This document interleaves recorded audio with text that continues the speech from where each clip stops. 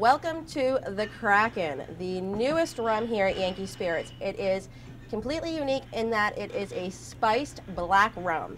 It is imported in from the Caribbean, from actually Trinidad and Tobago, and they use a secret recipe of 13 spices in this beer.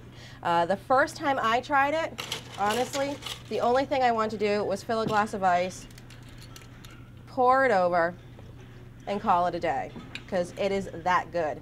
However, the summer months are coming. Believe it or not, they are coming. And you might want something a little more fruity, a little more refreshing to sit outside on a hot summer day. So what I came up with was fill a glass with ice. You're gonna pour in a little bit of the Kraken. We want equal parts orange juice and pineapple juice. Give it a nice little mix. And to make it a little fun, I'm gonna float in a little grenadine for some pretty color. And I like to garnish with a cherry, and that's what I'm calling the dirty water. This is what I've come up with. What can you come up with? Submit your recipes with Kraken Rum onto our Facebook page.